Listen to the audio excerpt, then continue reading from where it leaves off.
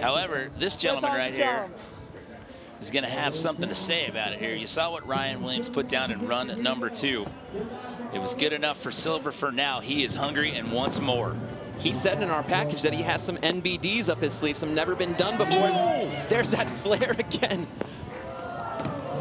Front flip. Was that a double tail? Jimmy, I got to see that on a replay. There's that front flip flare. Oh my goodness. That one looked a little cleaner than the last go around. I got to see what he did on that third hit. It was definitely a front flip tail. It might have been two. Gonna have to take a look at that. Wow, what a run from Mr. Ryan Williams. You can hear him just shouting, third time's a charm. Check him out. Here's the front flip. Oh, the, the way the bike whips around it just looks so crazy. There's it.